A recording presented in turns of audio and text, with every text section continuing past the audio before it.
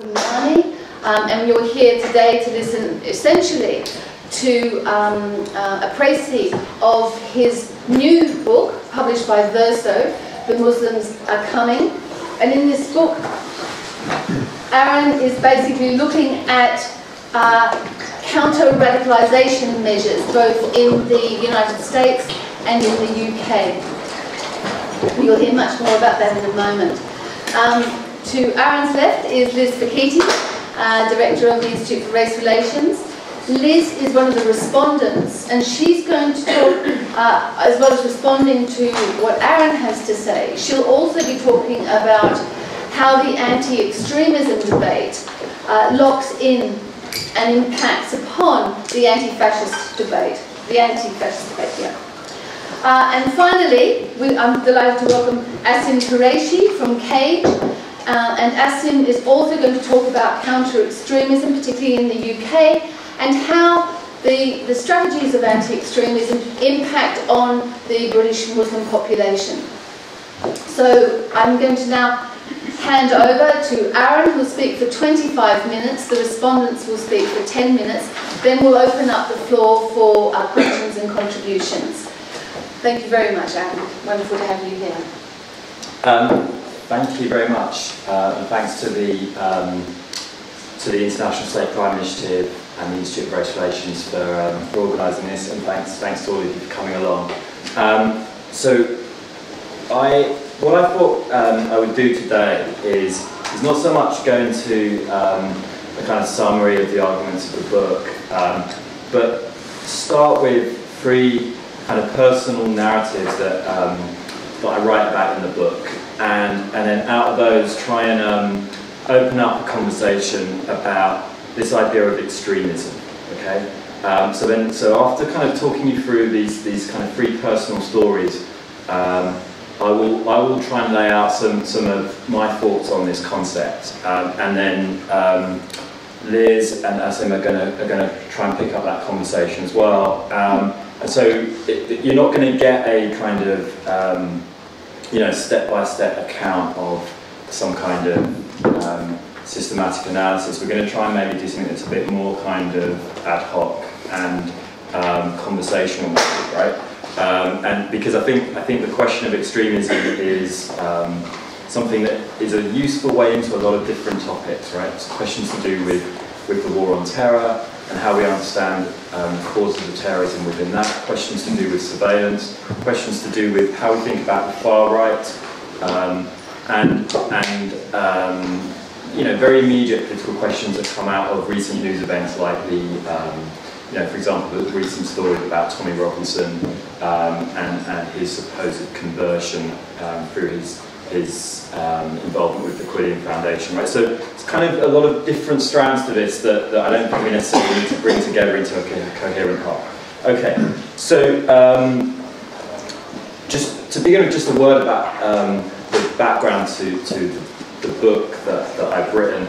Uh, in 2002, I spent a year traveling around the United States, um, spending time in um, Texas, Virginia, Minnesota, New York, Washington, Michigan, doing interviews with um, people who work for the FBI on counterterrorism, people who work for um, uh, local police departments, um, security officials in the Department of Homeland Security, people at the National Security Council, and um, people in, um, in Muslim American communities who are active on these kinds of issues, and um, a small number of people who've been labelled as so-called Islamic extremists as well.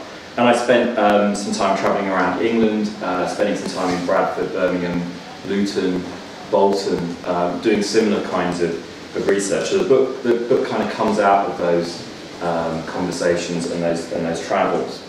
Um, so, so as I said, I'm going to I'm to give you three stories about three individuals. Okay, um, uh, two of which two of which I interviewed, and the third who um, who I interviewed his family. So the first story is, is a guy called um, Jesse Curtis Morton, um, who, whom I interviewed in early 2011, shortly before he was arrested. So Jesse Curtis Morton, um, he talks about when he was growing up in America in the 1980s, um, that he didn't have cable television. He says, when I was a child, the new wave was MTV, and I didn't have access to it. And I think it's a major reason why I had some level of human consciousness as I grew up. And I could see through the lies and the hypocrisies of my own society from the beginning. Jesse hated the consumerism that he thought had brainwashed his fellow students at his working class high school. He says, they watch their favourite TV show and they eat their favourite cereal and they buy their favourite shoes and that's what life's about. I think they're sick. I was never part of it. Jesse left home at an early age to escape an abusive family. For a while he travelled with the Grateful Dead. Um, he's attracted to the kind of the band's kind of rejection of materialist values. And then by 2002 he was struggling with drug addiction and um, in Virginia he was charged with petty larceny and possession of crack cocaine. Within a few years he converted to Islam, graduated from college and earned a master's degree from Columbia University. He described his first reading of the Quran as an overwhelming epiphany, and his subsequent conversion seemed to have given him a sense of focus and discipline. He changed, he changed his name to Yunus Abdullah Muhammad and found work as a substance, a substance abuse counsellor in New York City. He also spent time in Saudi Arabia. To his dismay, he, he encountered the same materialism that had alienated him from United States society. He came to believe that the commercialism that was rampant in America was being imposed around the world. But he also started to think that Islam, the religion that had saved him from drug addiction, would, if properly followed, save the world from Western capitalism. So this kind of, um, I guess, compared to the way most American Muslims think about Islam, kind of very offbeat interpretation of Islam that he followed, where it kind of fuses this kind of revolutionary anti-globalist politics with, with a sort of religious conservatism, um, is, is very uh, unique in a way to him and a small number of others that he associated with. Um, now to take his ideas forward, he, he set up an organisation called Revolution Muslim. This was launched in December 2007 and was mainly operating through a website. Uh, he posted videos which celebrated the 9-11 attacks, and he posted um, quite detailed accounts of the kinds of social and economic policies that he wanted to implement. Uh, he would be found um, trying to recruit followers um, outside the Islamic Cultural Centre on the New York's Upper East Side, um, but you know, the, the congregants leaving the mosque would basically ignore him and, and his speeches. In April 2010, one of the bloggers on his website um, heard about a forthcoming episode of the television series South Park, in which the Prophet Muhammad was to be depicted wearing a bear suit. Um, a graphic picture of the murdered Dutch filmmaker Theo van Gogh was posted on the site, accompanied by a prediction that the programme's writers would probably suffer a similar fate. Details of the neighbourhood where the, the South Park writers lived in Colorado were added with the suggestion that readers pay a visit. And this, uh, this posting on this website was, was um, very quickly picked up by the mainstream news media, um, who obviously had a field day um, with it, and, um, and so then Revolution Muslim becomes one of the top um, most searched for phrases on Google for, for a few days. So Abdullah Muhammad is, is now kind of inundated with calls from journalists and so he decides to issue a, a, kind of statement trying to clarify things, but his statement doesn't really clarify anything at all. He says, um, we're not trying to directly incite violence, but then he quotes Osama bin Laden saying, if there is no check in the freedom of your words, then let your hearts be open to the freedom of our actions. Three months later, he quits his job in New York and leaves for Morocco, where he's um, arrested and extradited to the United States and charged with conspiracy to solicit the murder of his fellow citizens. He's held in solitary confinement for a number of months, um, agrees to take a plea bargain with the government rather than risk a trial, and he's sentenced to 11 and a half years in prison. So, um, and you know, the United States is a society where um, online threats of violence are, you know, are, are tolerated up to the point where you can make a case that there might be some immediate, um, imminent lawless action is the legal phrase, flowing from it. Um, uh, but, but, so the, the kind of length of his sentence that he receives for this is, is kind of quite striking. The reason is, is fairly obvious. Um, he, he embodies the threat that many in the, in the US national security apparatus most fear, um, a white American who rejects the society in which he's raised and becomes an admirer of its most feared enemy, Osama bin Laden. Um, now, you know, it's, it's kind of easy to think of, of kind of psychological theories to explain this um, journey to extremism, if we want to use that word.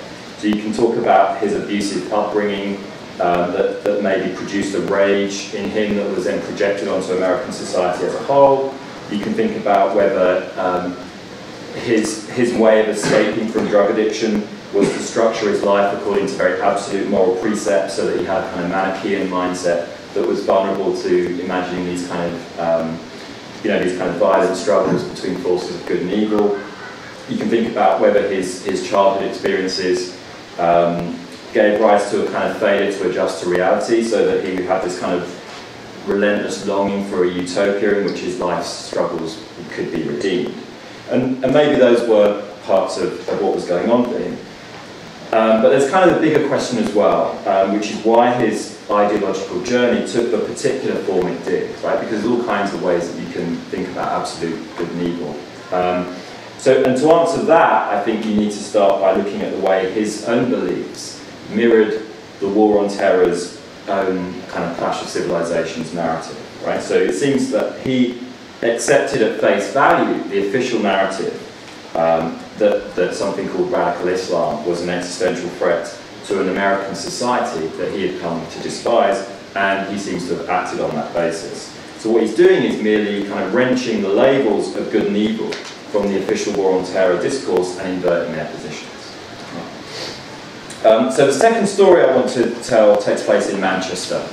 Um, so this happens in April 2010 um, when Israel's deputy ambassador to the UK, um, Talia Lador-Fresher, is invited to speak at the university and um, student activists in Manchester are planning to um, come to her lecture and confront her. This is very soon after the um, Operation Cast Lead, um, in which the Israeli Defence Forces um, devastate Gaza. But there's strict security arrangements, so they're not able to come into the lecture.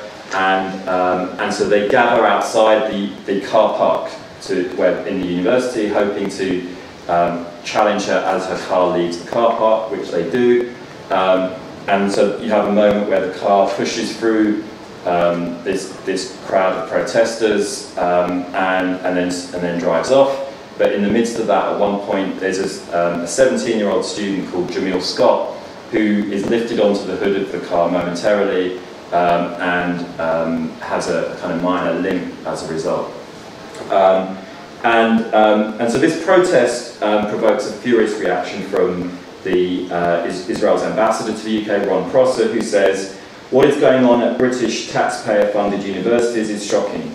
Extremism is not just running through these places of education, it is galloping. My ears are ready and waiting to hear the strongest condemnation of this behaviour, both from the heads of campus and the local authorities. So shortly after this, Jamil was arrested by um, Greater Manchester Police on suspicion of racially aggravated public disorder.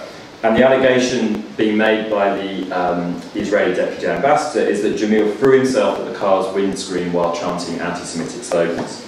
Um, there's, a, there's a security guard at the university who was a witness to everything who, who contradicts that account and the charges are dropped.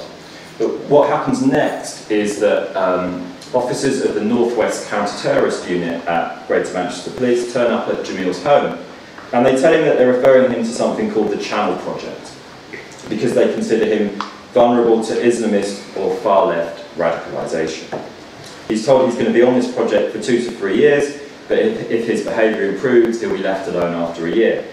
As part of the um, Channel project, he's told that he's going to receive counselling from two officers of the counter-terrorist unit, um, and they meet with him at his aunt's house in order to discuss their concerns about what they call his political trajectory.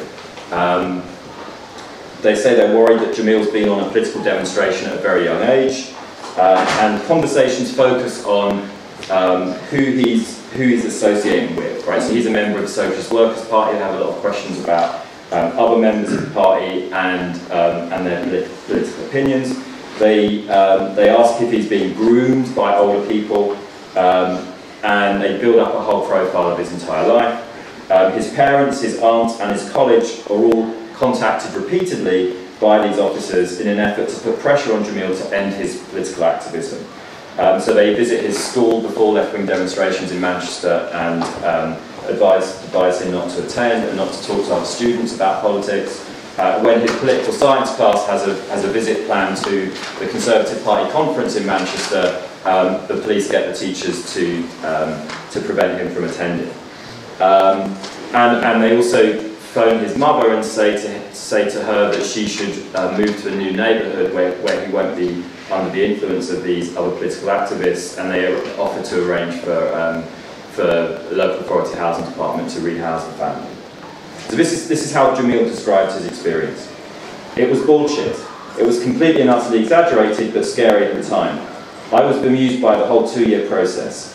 It was quite clear that I wasn't in the terrorist category, but I was told that I'm being monitored and mentored by an anti-terrorist project. This was an attempt at depoliticisation, spreading fear and making people actually feel unsafe around their neighbours.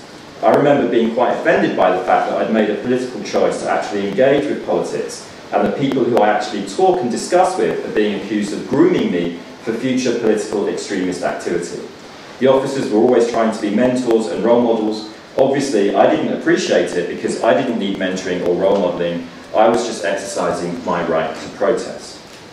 Now, um, through uh, a sort of fairly long legal process that was supported by um, the civil liberties organisation Liberty, I was able to use the Freedom of Information Act to establish that between 2007 and 2010, 1,120 individuals were, were identified by this channel project as potentially travelling on a pathway of radicalisation. Of these, 290 were under 16 years old and 55 were under 12. Over 90% were Muslim, the rest were mainly identified for potential involvement in far-right extremism. By the end of 2012, almost 2,500 people had been identified by this channel project as possible risks.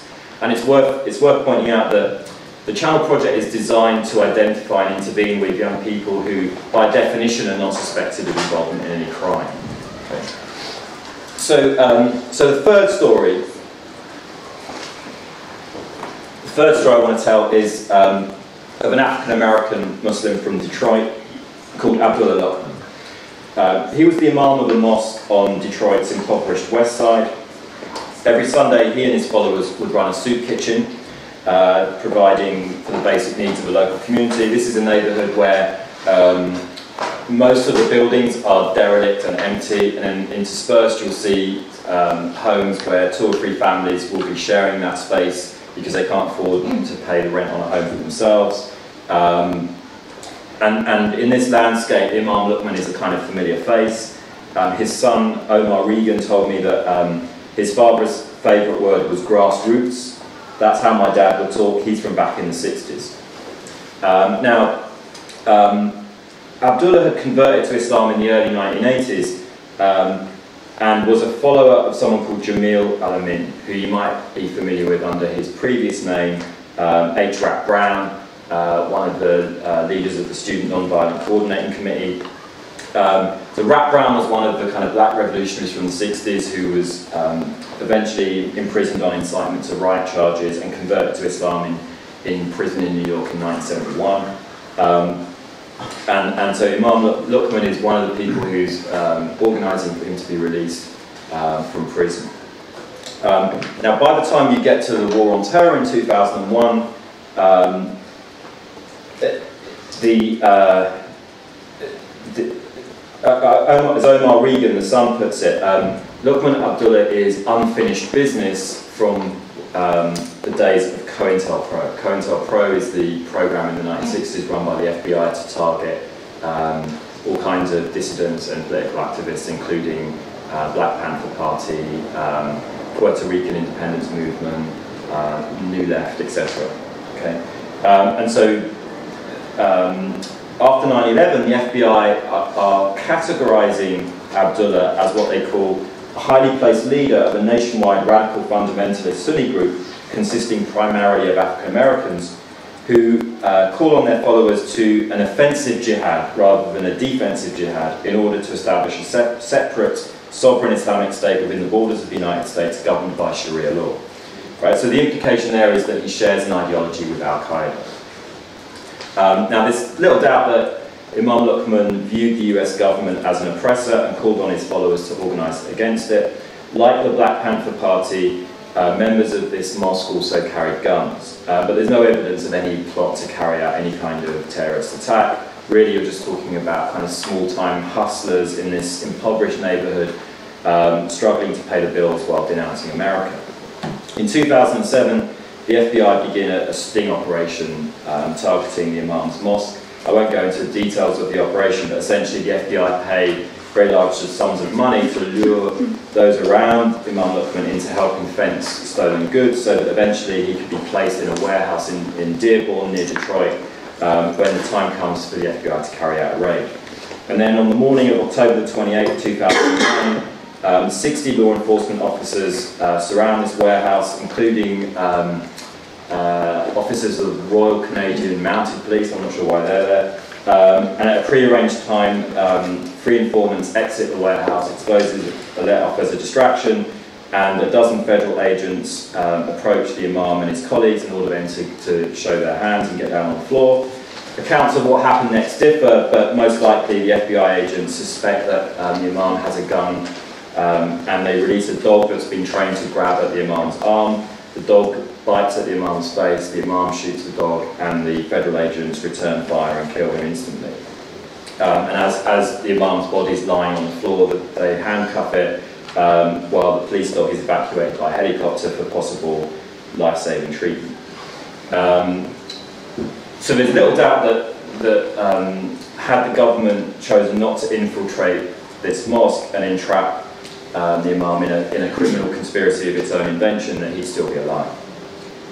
Okay, so um, we've got three cases here of, um, of individuals that in various ways have been labelled as extremists, um, and three, three examples of um, responses to them from the um, from government authorities of various kinds. So what I want to do, just to just to kind of close off this introductory part, is to just to spend a short while thinking about um, this concept of extremism, which, which has obviously become a kind of key anchoring term for the war on terror.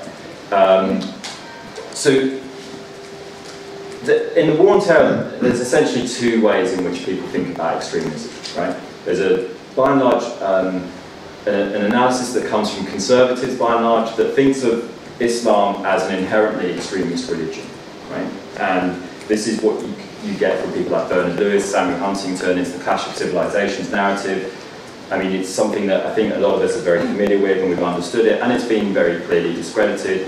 Um, so I'm not going to spend a lot of time on that, because actually I think that is now peripheral to how governments operate and think, right? Much more um, influential and um, important, I think, for us to think about politically is um, how liberals understand extremism, right? Um, and so I think the prevailing way in which liberal discourse understands extremism is to think of um, a, um, a division between moderate Islam and extremist Islam. Right? So the problem is no longer with Islam itself, but with some extremist interpretation of Islam. Um, and, and so on that model then, the root cause of terrorism is this particular extremist religious ideology. Okay, that's a, um, the kind of key idea. Now, a number of things um, happen when you have that starting assumption that I won't just run through quickly. The first thing is, it, is that it sets up a field of academic study, right? Because you can then create um, academic models that try to trace how someone goes from being the moderate Muslim to the extremist Muslim. These are so-called radicalization models, right? So we have this word radicalization that we never had um, you know, more than 10 years ago to try and understand terrorism, but now it's become the main lens through which we try and understand terrorism. What is the process of radicalization? Is this person radicalized, right? Um, and so we have these academic radicalization models that try and trace this process, right? And they usually talk about um, like ideology, so extremist ideology is the root cause here that makes someone into, into a terrorist. They talk about identity and they talk about psychology. There's some kind of psychological vulnerability, right? Um, and in, in one of the things I do in the book is to kind of try and subject this field of, of academic work to scrutiny um, and um, in my analysis, there's a kind of key error in this field, which, which is that it's, the whole field takes as an a priori assumption the, um, the view that religious ideology by itself is a cause of violence, right? So that's an assumption rather than something that is actually demonstrated within this field of knowledge. It's an assumption that just gets that field of knowledge up and running. Um, and more widely, it tends to abstract from the political context within which um, violence emerges and assumes that extremist ideas are by themselves sufficient explanations for the existence of terrorist violence. So where does this where does this kind of idea come from? This this kind of um, way of thinking about violence, where you can um, just explain why violence happens through this notion of extremism and extremist ideas. Um, you you, you um, get it from the Cold War, right? So in the Cold War analysis of totalitarianism, writers like Hannah Arendt and um, Karl Popper, you have this theme running through their work that um, that somehow what lies behind these kinds of forms of political repression is bad ideas, right? Extremist ideas. Um, and so the idea that there's some kind of extremist mindset within which these ideas capture you and turn you into someone capable of various kinds of political evil, right? Um, and, and, then in the late 60s, um, the word extremist emerges as a word to refer to this same tendency in social movements that the word totalitarianism is, is used to refer to that tendency in states. Okay, so extremism then becomes this, this term that has this currency. And the problem is that it conceals the violence of liberal states themselves, right? And it creates this kind of um, this space of innocence whereby the, the violence that liberal states carry out is seen as normal, rational, necessary, whereas the violence that other political actors carry out is seen as the product of um, a kind of extremist mindset, right? And this is a very limited way to understand political violence, right, or terrorism, if we want to use that word. Think about um, uh, the history of terrorism in the modern era, um, uh, what you see is that terrorism does not come out of um, some kind of political radicalization into extremist ideas, you see this repeating pattern where terrorism is the product of a failure of political radicalisation. It's a product of moments of political defeat. So think of, um, you know, the first case of modern terrorism is the anarchist bombers in the 19th century. All of them are veterans of the violent suppression of the Paris Commune. It's a moment of political defeat. Think of the provisional IRA in Northern Ireland. It comes out, it's, it's turned to the bombing of civilians comes out of the failure of the civil rights movement in Northern Ireland to achieve its political goals think of the African National Congress. Um, it begins a campaign of disruption and sabotage and bombing um, as a result of the violent suppression of, of the anti-apartheid movement at Sharpeville in 1960. Um, think of the Weather Underground in the early 1970s, this American um, group that, that uh, issues a declaration of state of war against the US government. That's coming out of the context of the suppression of the student movements to end the Vietnam War. Um, and then come forward to, to our time in Britain in the last 10 years. Um, if you look at the, the number of terrorist um, prosecutions from 2003 to 2006, they more than doubled. Then from 2006 to 2009, they revert to the level they were at before. Now that isn't entirely to do with the Iraq war beginning in 2003, but that's a large part of the story. You have millions of people come out onto the streets in 2003 who um, who uh, want Tony Blair to withdraw from participating in this war. There's maybe an expectancy that, um, that in, a, in, a, democracy that number of people on the streets will bring about a shift in, in policy. That doesn't happen. It's a moment of political defeat that for some small number of people then um, creates the idea in their mind that, that um, now violence against their fellow citizens is legitimate. Okay? Um, just very quickly, um, some, some other consequences of thinking about extremism in this way.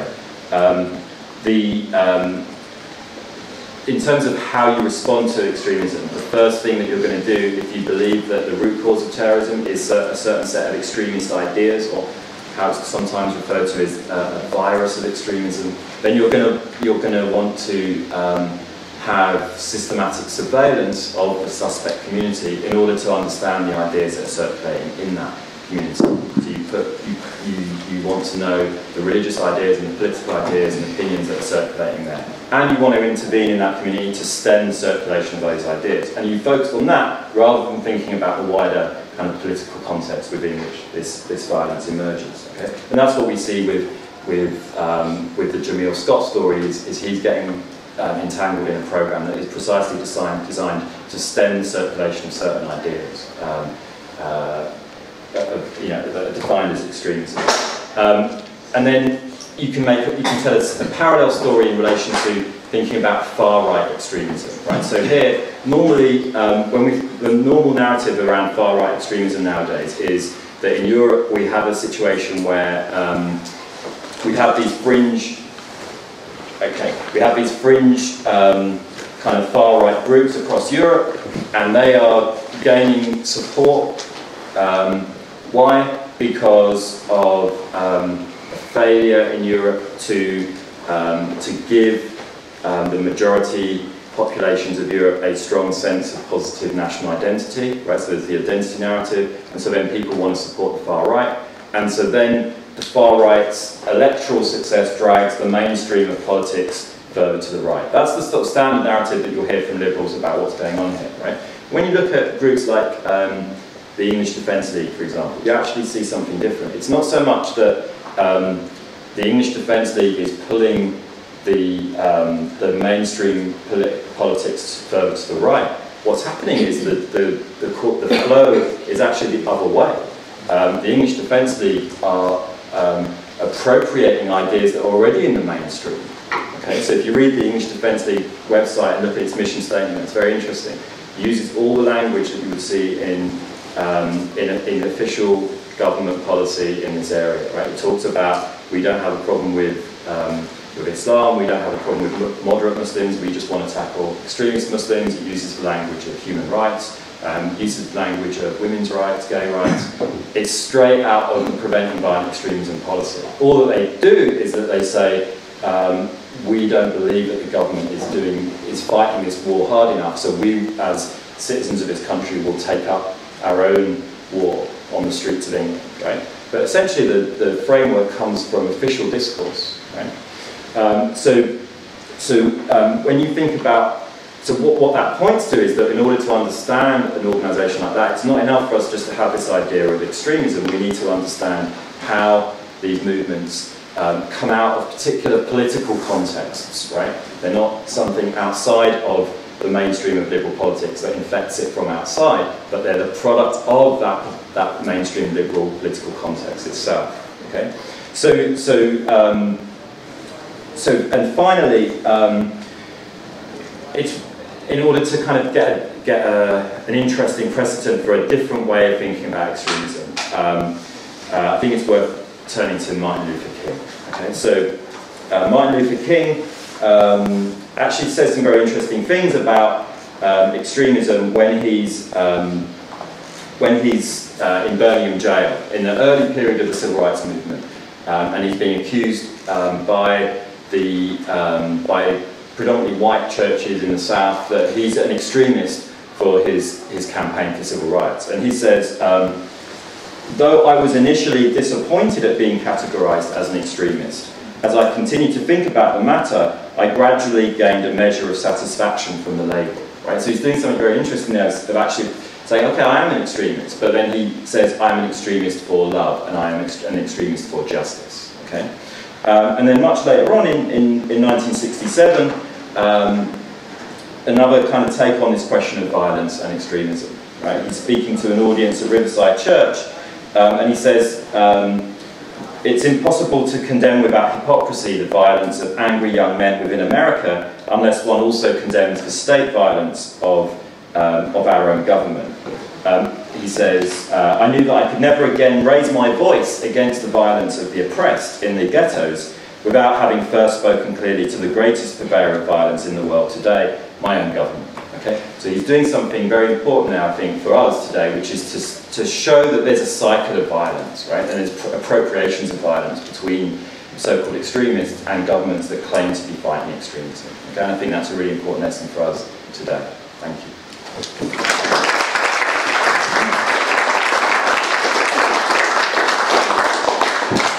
Very much, Aaron, and I'm sure you'll have lots of questions, um, but we'll, we'll, hold the questions until after everybody has spoken.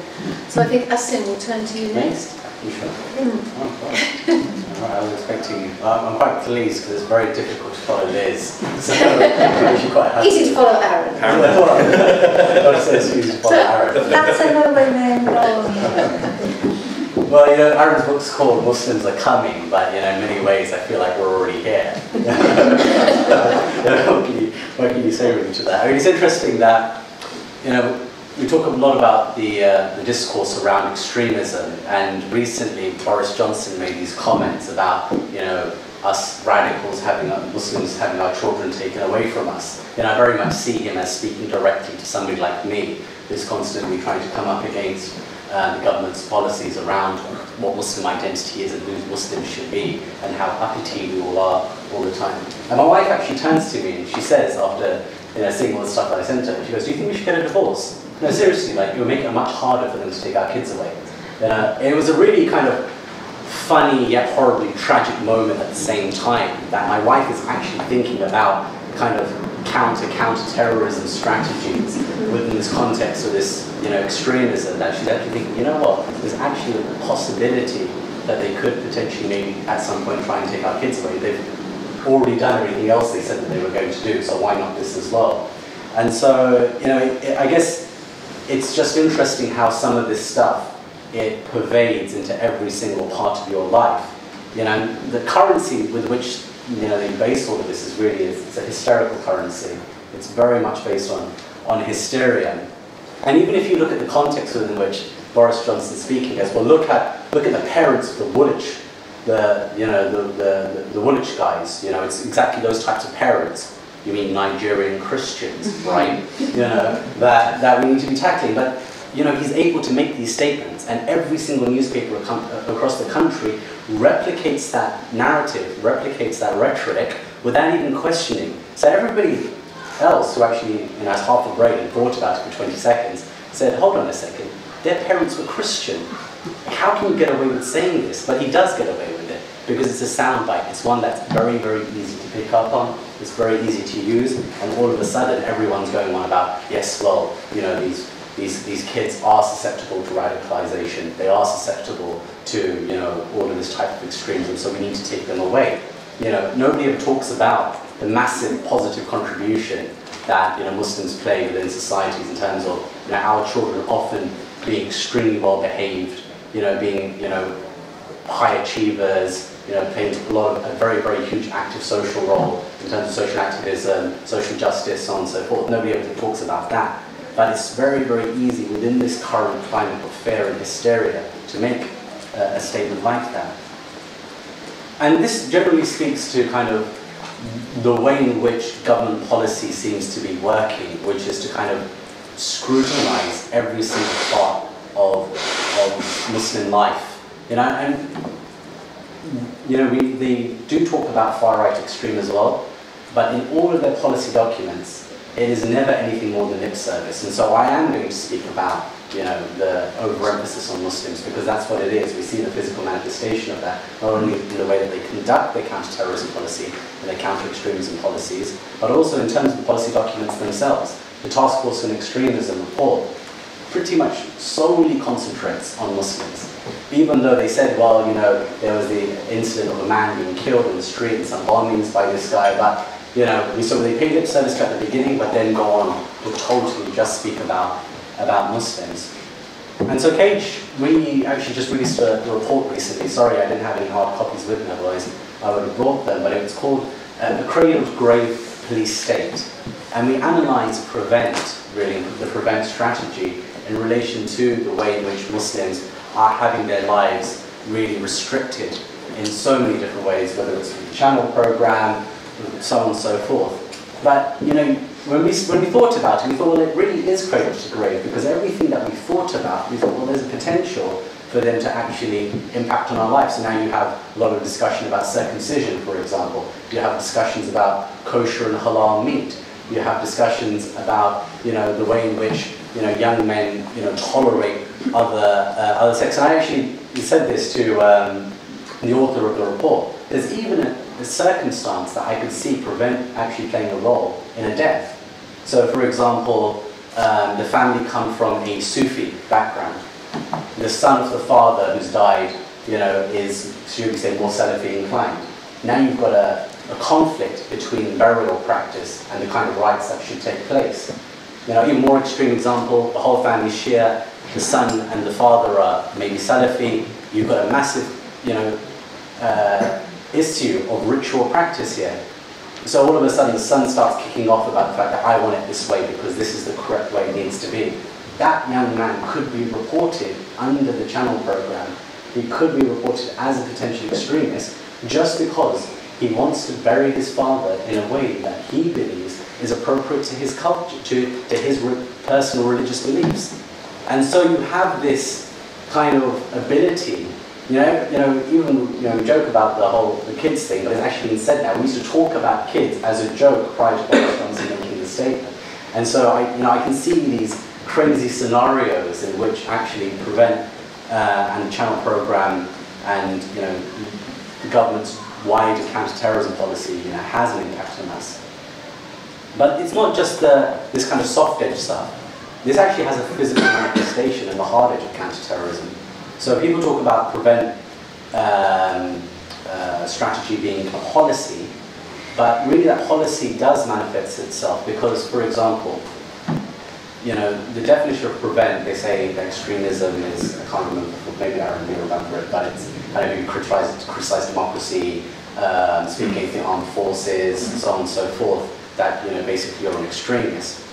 Now, they decide at the hard edge of counter-terrorism law that you are an extremist. What can they do to you? They can take the passport away from you, they can remove the citizenship from you, they can put you under what's known as a TPIM, formerly known as control orders. This is an arbitrary decision by the Home Secretary.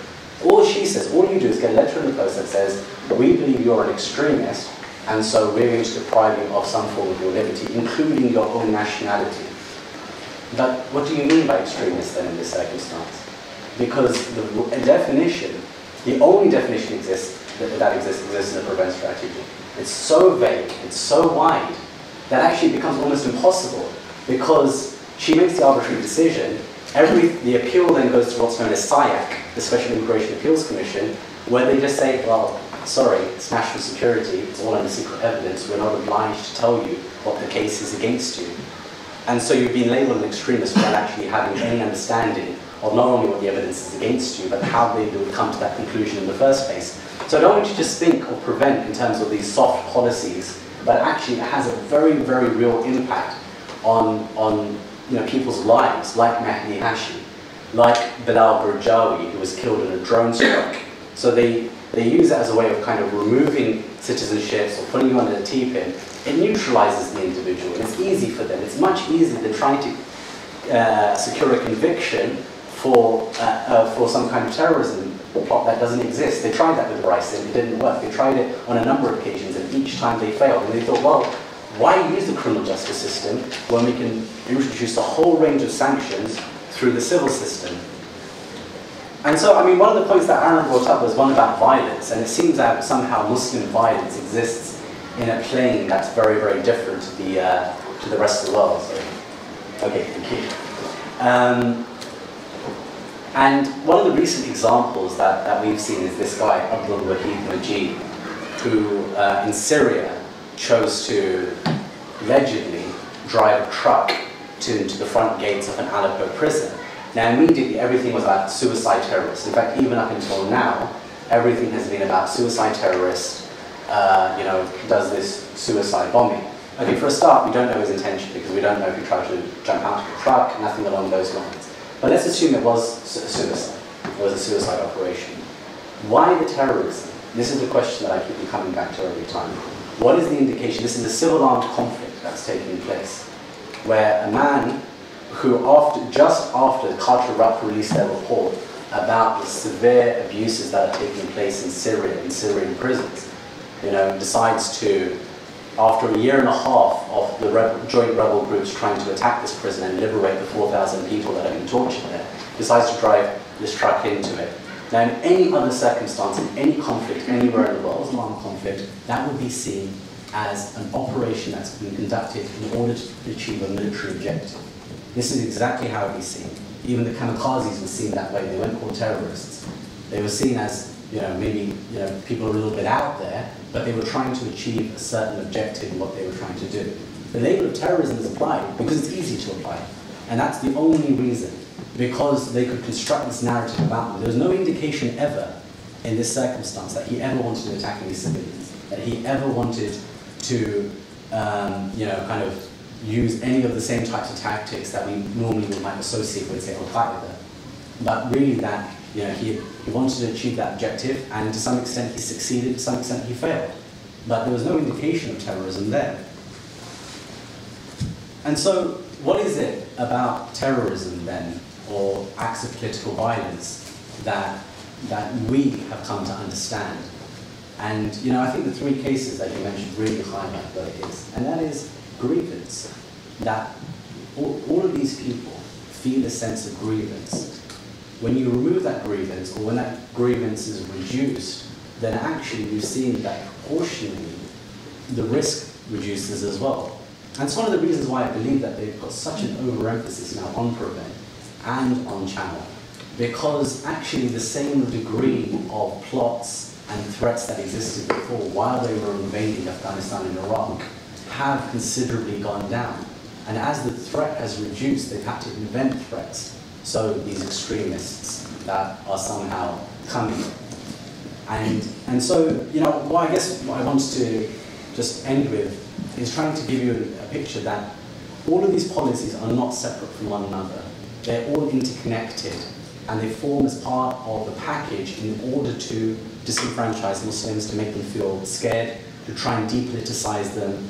You know, so often I hear people, you know, I was once on the phone to an, uh, to an intern who was doing some piece of research for me, and his mother grabs the phone out of his hands and starts shouting at me, saying, you know, can you stop getting my son to look at all this stuff about, you know, people being detained around the world? You know, what if he gets arrested? You know, and when you think about it, actually, if they wanted social cohesion, if they wanted people to feel, feel part of the society, then actually they should allow them to air their grievances, allow them to take part, allow them to use civil society to make a change. But what they're doing is actually saying, there's no place for you to talk about what your grievances are. There's no place. There's just no place for you in society. If you've got a problem, then you've got to change yourself. It's not about us, it's completely about you. Change yourself, otherwise you're not welcome. Thank you.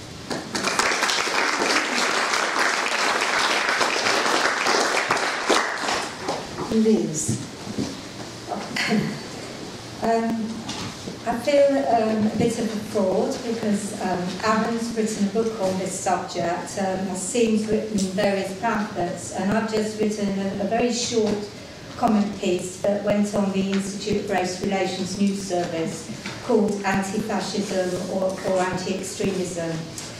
Um, but I just wanted to start by saying that I read Arun's book over the weekend and Arun's just, I mean there's so much in his book and he's actually had to focus today on a certain aspect of it.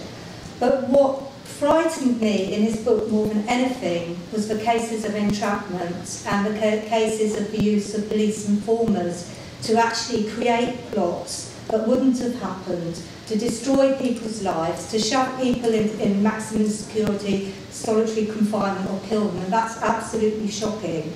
And on what Asim has just said, I mean, this whole question of channel and prevent, this isn't soft policing. This is, I mean, this is a massive extension of the scope of our criminal justice system into people's private lives.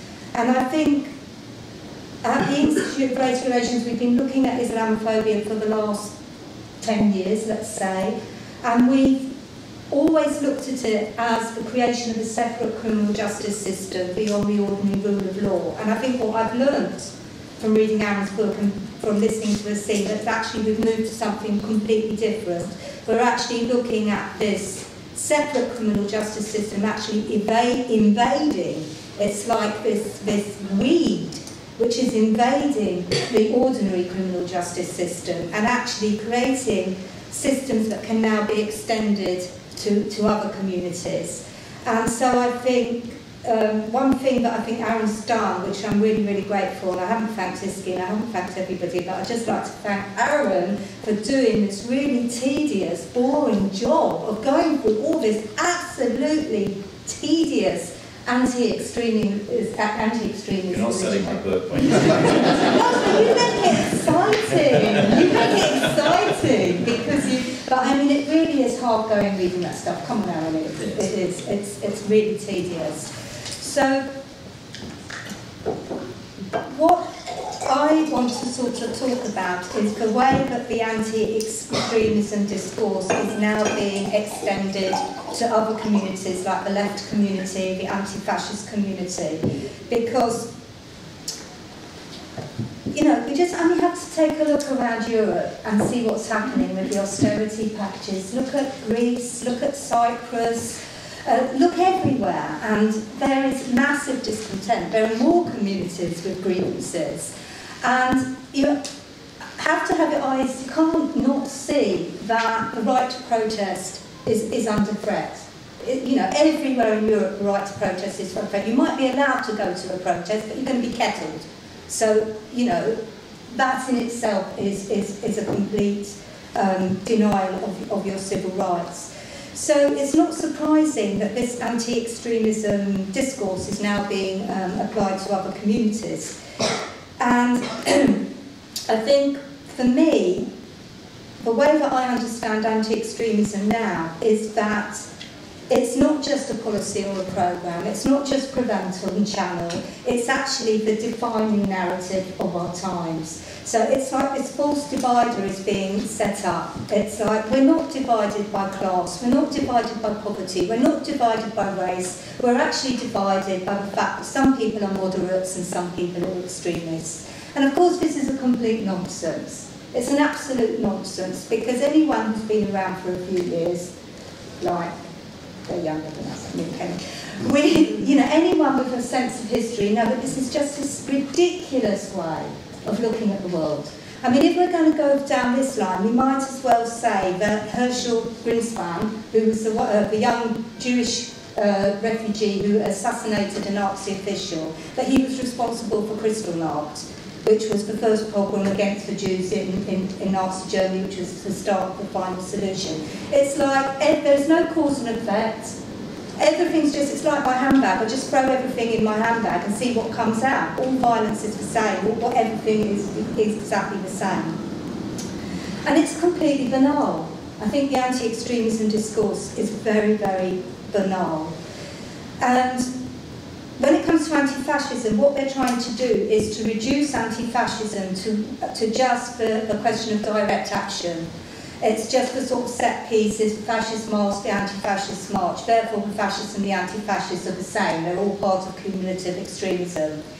But one of the benefits of working for the Institute of Race Relations for 30 years, and Aaron is, uh, uh, worked, worked at the Institute for 13 years, uh, before he went to New York, and he still works with us for race and class, is because you're connected you're connected to the history. You're connected to the history of anti-racism and anti-fascism. We work with people who were in the 1960s fighting Powellism, in the 1970s fighting the National Front. We did these histories of Southall and Newham and the community struggle against racism and fascism. But you know that anti-fascism is not just about direct action. Anti-fascism is a culture. It's an ethical movement that springs from the grassroots, if I'm allowed to say that. Your person who said that it's only his pop spoke about the grassroots, but it does. It springs from the grassroots, from the people up. And it's not just about fighting the Nazis on the street. It's actually about preventing democracy deteriorating into the tyranny of the majority. So what I've seen over the last few years is the way that the uh, anti-fascist movement has been criminalised in Europe. Um, in Greece, this plays out, you might have seen that there was a, a young anti-fascist rapper called Pavlos Pissas who was murdered by a, a supporter of Golden Dawn. Golden Dawn had infiltrated the police, had infiltrated the army, they had how many, they had I can't remember the exact number of MPs they had in Parliament. And this is the one thing that they don't want you to know. I mean, they talk about Islamic extremism, but where is there an Islamist party in any government, in any parliament in Europe, in any local parliament? The fascists are in every single uh, in every single country, even if they're not in the parliament, they're actually in the local parliament. So they are actually capturing aspects of the state. No other, uh, you can talk of no other form of extremism in Europe today that is capturing the state. So in Greece, even though these fascists went around on motorbikes in convoys, attacking mostly uh, uh, migrants, and, and, and then they moved towards attacking the left and killed Pavlos. Even though all this was happening, even though there was a section of the army who was preparing a coup, the narrative in Greece is the theory of the two extremes. So Golden Dawn and the uh, left party Syriza are seen as examples of the two extremes. In France, where you had another young anti-fascist killed a year or so ago called Clement Meric, who was in the party of the left, um, he was actually killed by neo-Nazis. Uh, he was only, I think, 18 years old. And then there was in Parliament, there was a big debate about banning some of these neo-Nazi groups that was involved in his killing. And um, immediately Marine Le Pen got up and said, so I'm going to do French accent, going to do that. This is selective dissolution. And if you're going to ban this party, then you have to ban the party of the left, which would have been the party of the, the young man who was killed. In Germany, they talk about two totalitarianisms, which means that you are uh, equally, it's looking at the history of the GDR, and so the, the Communist Party and the Fascist Party are the same. And I mean, in fact, um, there's big, big uh, debate in Germany because the government brought in a, a, a, a measure that if you were in an anti-racist group doing victim counselling, you wouldn't get any funding from state unless you signed a declaration of loyalty that you accepted. Basically, you had to agree with the intelligence service's definition of extremism. If you didn't agree with that definition of extremism, you couldn't be funded, which is a bit like prevent in a way, isn't it? So a lot of groups actually refused to sign that declaration, and they put, I mean, it it, you didn't only, if you were found to be even working with one individual who was considered an extremist, then you would have seen to have, seen to have broken your contract. And the groups who actually refused it made the point, well, well, we're working against Islamophobia, we're trying to protect the mosques in Berlin from being attacked. How can we do this work if you're going to say, well, you can't work with this mosque, you know, etc. In Sweden, the debate now is around all violence is the same. Now, this is just um, unbelievable because if you look at the rise of the, uh, the whole question of Swedish fascism, by the way, I just want to mention, because I know you may have heard there have been a lot of arrests of people um, for, for uh, offences ar arising with going to Syria to fight. Well, actually, the one respite that our friends in the Roma community have now in the Czech Republic who are facing anti-Roma demonstrations this week is the whole of the far-right um, fascist scene have actually gone to Ukraine and they're all serving in, they're in paramilitary squads in Ukraine. The Swedish intelligence services said, this isn't our issue, we're not concerned about this. We're looking at terrorism, this isn't terrorism, they have a right to do this. So anyway, in Sweden, where there's been a huge attack on the Nazis attacked an anti-fascist demonstration very, very brutally, there was this massive debate about this 16-year-old woman who went to, um, actually went to a meeting where the leader of the Sweden Democrats was speaking, and she actually uh, pushed a, um, a cream cake into his face. And this was seen as an example of left-wing extremism and a massive threat to democracy, whereas nobody mentioned the fact that the fascists were marching every week as a threat to democracy. So this, this is my main point. It's completely banal, this actually um, Somebody else is asking, sorry. No, go uh, ahead. Uh, fascinating talk. Thank you very much for all the speakers. Um, Arun, I was uh, particularly uh, interested in one of your points, where you, the one you were saying where the liberals have adopted this language of moderate extremists. And I think that is how we've allowed people, for example, in the Labour Party, who used to be, for example, civil liberties lawyers, human rights lawyers, other people have gone into Parliament, there must be other pressures as well, no doubt, have ended up voting for some of the most draconian anti-libertarian legislation. And apart from obviously political sort of opportunism, I think also that point what you said about liberals being persuaded that these are extremist Muslims and the language of Islamofascism was linked to what you said about fascism. That's where they've been very successful in order to get the tacit approval of many people who either thought in the past have probably shown a bit more uh, opposition to the laws and policies that we practiced. I just want your thought on that. Um, why don't we Yeah. get two or three questions and then we'll respond. It might be worth responding to that while people think up questions Sure, okay. I think, Um, get the ball rolling. I mean, I think, you know, one of the interesting things, uh, um, both in the United States and Britain, um, is the way in which um, a political consensus has been created across the spectrum, right? So, um, you know, if it was just conservatives um, advocating for these kinds of policies, and um, uh, the, then you would not see what we see. In the early years of war on terror in America, it was, you know, you did have some kind of, um, you'd have some kind of debate around this stuff. Um, I mean, albeit an odd debate, it's odd to have a debate about whether torture is legitimate, but you had a debate, in, and Democrats in America would, would take a stand against some of Bush's policies, right? What happened with Obama coming in, having been elected on a, a kind of measure of opposition to the war on terror, particularly around the Iraq war, he then absorbed that sense of opposition from the American public into his administration and kind of neutered it, right? And, um, and, and so while neoconservatives created the war on terror, liberals normalized it, right? And, um, uh, and, and so now it's just the common sense reflexes of how, you know, when we think about these questions about terrorism, extremism, kinds of policies that we should have in place, it's no longer a matter of a discussion, it's just this is how we do things, it's just normal, it's just, you know, not even a, a debate. Um, and so, and so and, and in order for that to happen, you need to be able to you need to be able to present what you're doing not as the, the mass demonization of all Muslims, but as something that is a little bit more subtle and that involves partnerships with Muslims and involves um, you know and involves and you need to be able to use the language of um, you know of partnership of integration etc right and that's what this particular liberal take does um, but the um, you know the concept of a moderate Muslim is kind of um, something that is very slippery, right? So the, what it means to be a moderate Muslim is someone who um, you know who um, who keeps their religion in the private sphere, but then also has to speak publicly to condemn other people's interpretation of the of religion if it's supposed to be the wrong interpretation. So it's a public-private contradiction.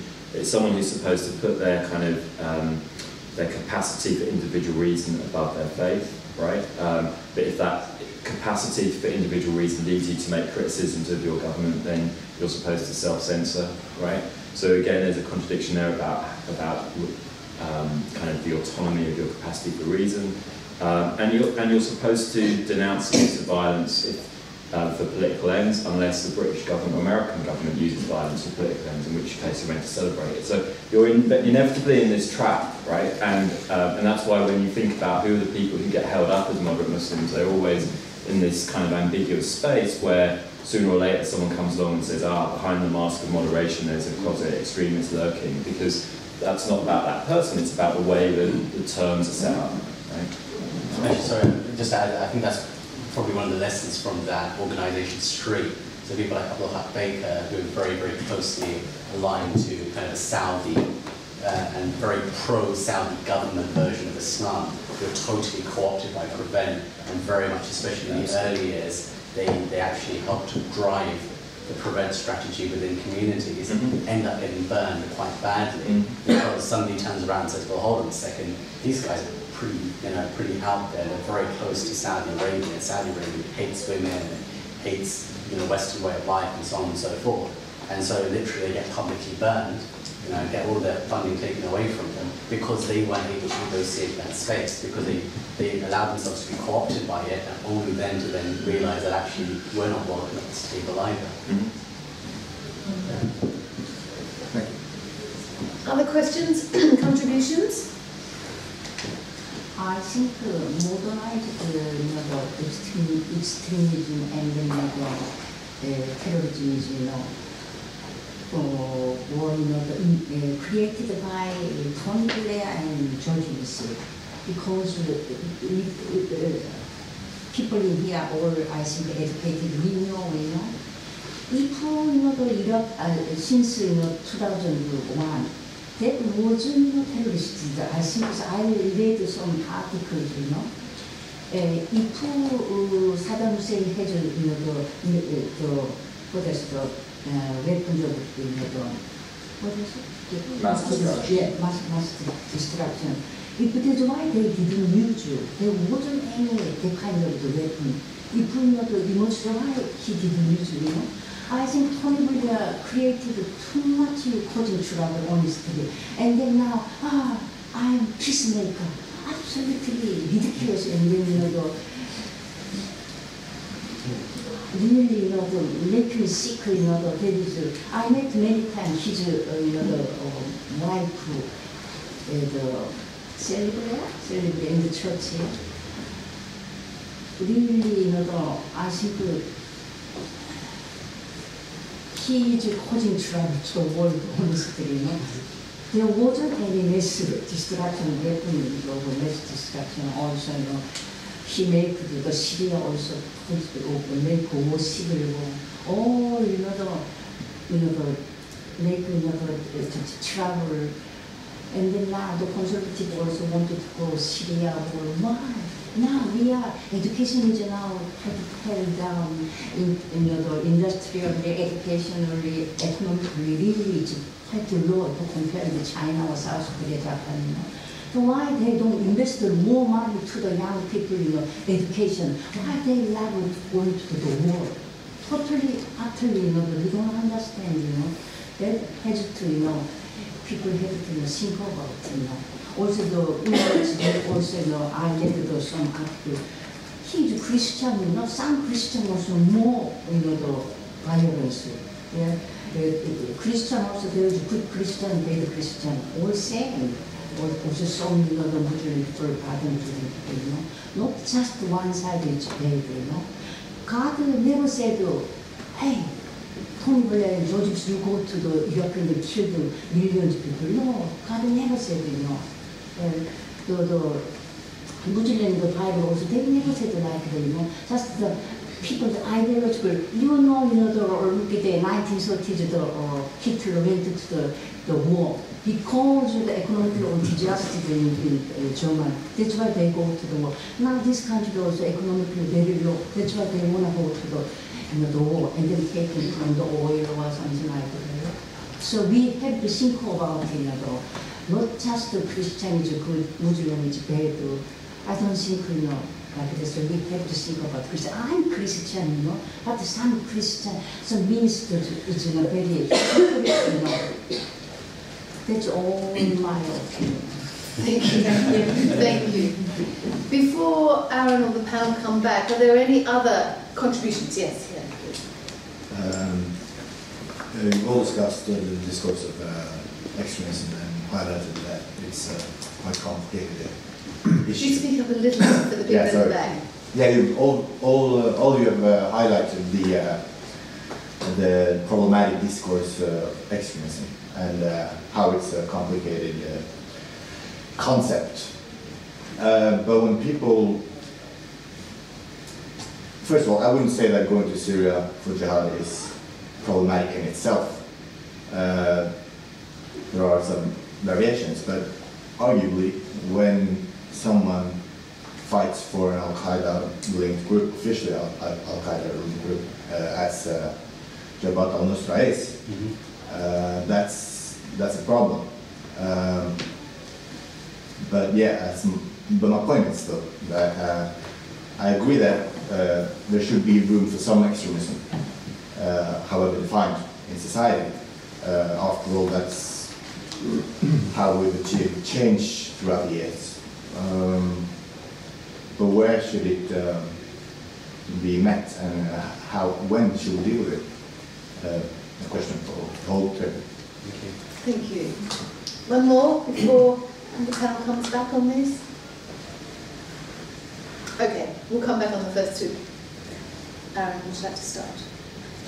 Um, okay, well, I mean, you know, Tony Blair, um, actually, I actually think there's something very interesting that, that most people haven't really understood about what was going on with Tony Blair um, as far as his reading of the War on Terror is concerned.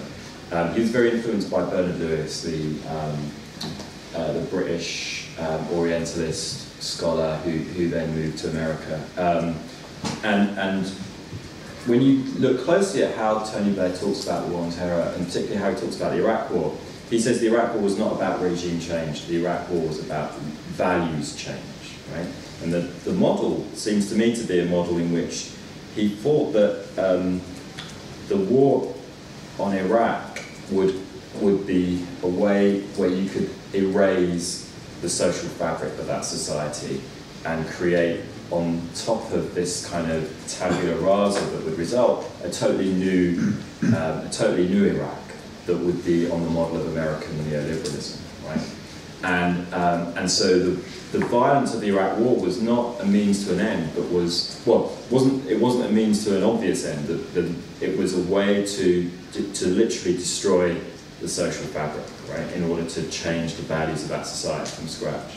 And within, within that kind of neoconservative world of Bernard Lewis and others, um, there is a, you know, their analysis is that, is that the values of societies in the Middle East are, are fundamentally problematic. And so either you have an authoritarian state that suppresses those values, um, or you have to do what you did in Iraq, which is to, um, to erase them through violence, right? Um, and um, ultimately, that's the reason I think that, that um, Tony Blair launched the war in Iraq and the reason that the neoconservatives in America got Bush to, to um, do the war in Iraq. Right? It's a much, in a way, it's a much more sinister reason than you know all this stuff that we talk about normally about weapons of mass destruction, um, humanitarian intervention, even the narrative that it was all for oil. Actually, it's much more sinister. Um, and, you know, it's interesting watching the um, the trial that's going to be going on later this year um, with regard to the Boston Marathon bombing that took place um, last um, April. Um, the, the surviving perpetrator is charged with using weapons of mass destruction, right, um, for, for an explosive device that was made out of fireworks. Um, so we've redefined what weapons of mass destruction mean. No longer chemical, nuclear, and biological weapons, right? Um, it's something much wider. So it's almost as if, well, we didn't find weapons of mass destruction in Iraq, but if we redefine the term, we'll find them everywhere. Right? Um, so Syria, I will lead to. Um, yeah, I mean, yeah, Syria. Sorry, those. No, want, no, I'm cracking, please. No, you haven't cracked it. I'll stick in Ukraine. you know what? I'll probably. Shall we change around? Yeah. You can do Ukraine and I'll do. no. um, I'm glad you recognise the fact that going to Syria in and of itself isn't necessarily a problem. I'm not one to usually quote Barack Obama that much, but in this circumstance I will, where he even recognised for the first time that, you know, not all of Al-Qaeda is the same. Sometimes the term and the name is appropriated, but in every single circumstance they are actually very different. And one of the things that we know on the ground um, is that actually all of the traditional hallmarks that we saw of Al-Qaeda in the way that it carried out both itself both ideologically and its ritual practice and so on and so forth, none of those seem to be there with this with the groups that are, in the Sham in the Levant. So, you know, I think we need to start becoming more sophisticated in our understandings of political violence around the world, the context in which it's taking place, and the way in which it manifests itself. I'm not saying wholesale that there is no problem there whatsoever. Okay, what I'm saying though is that every single circumstance is different. And what I've said about Syria all along is that actually the framework of terrorism in a civil armed conflict is not the one to apply. In fact, we have the second uh, additional protocol for the Geneva Conventions for a reason, okay, which is that when there's internal armed conflict, okay, what we do is that we apply that standard. And so, you know, one of the things that we've been constantly saying is that if somebody commits a crime, like killing civilians, like kidnapping uh, journalists, and so on and so forth, the Geneva Conventions can completely take care of nearly every single aspect of that because it's an armed conflict. Why are we introducing a new system of laws and, and replacing a, a, you know, that with this kind of framework that's never really traditionally existed and being applied into a circumstance that, that it should never be. Because we already saw that in Afghanistan. When they refused to apply the Geneva Conventions on those men, they were sent to Guantanamo. We saw the abuses that took place and we saw the amount that it actually fed into a grievance rhetoric after that. Guantanamo, there's never, there's never been a bigger poster boy for grievance against the Western world than Guantanamo. I've been to prisons that are far worse than Guantanamo, and you know what they say to me? They say to me, it's like we're in Guantanamo Bay, because their frame of reference is that's the worst place you could possibly imagine, mm. even though it's not. And so it comes back to the same thing that we've become so unsophisticated in the way that we, uh, that we assess political violence that you know, we start you know, falling into this rhetoric of hysteria, which results in applying incorrect frameworks, which then leads to further abuses. Uh, I think the question um, at the front was also about the law and when we should apply the law to, to fight um, extremism, which is a word I don't want to use. Um, but just as I think we've become we are unsophisticated in the way we understand political violence. I think we've become completely the, the anti-terrorist laws have become normalised and accepted and that's the most frightening thing because anti-terrorist laws are by their very nature emergency laws when they come in, we're told we're in a state. How many years have we been in a state of emergency? Since 1974. 74. We're living in a country which is in, has been in a state of emergency since 1974. Since 1974, and I don't think that hardly anybody knows that we're living in a state of emergency. You can't live in a country in a state of emergency without that fundamentally eroding into the culture of democracy. So I my answer to this is that we have enough laws in the ordinary rule of law, without emergency laws, we have enough laws to deal with acts of violence. And that we should go back to the ordinary rule of law and we should go back to, to prosecuting acts, not thoughts and ideas, and even when it comes to things like conspiracy, because obviously if there is a conspiracy to create uh, an act of terrorism, you want to feel the security services are going to stop that conspiracy before it happens. But there are conspiracy laws. Everything is there. We don't need emergency laws. I think it's quite coming back on that point. the, the original Prevention of Terrorism Act in 1974 um, was introduced and it was designed to last for six months maximum because there was a recognition that this was indeed something almost too far for British law to, to enter into. And there was a concern, particularly among Liberals, who, who were very concerned that the incursions into human rights that the uh, emergency legislation, the Prevention of Terrorism Act, would um, incur uh, was something that in Britain we, we weren't prepared to tolerate. And it's so interesting today to see how easily we tolerate um, precisely the kinds of incursions into human rights and civil liberties that um, those liberals then were um, trying to resist. Any other questions, contributions? Anja?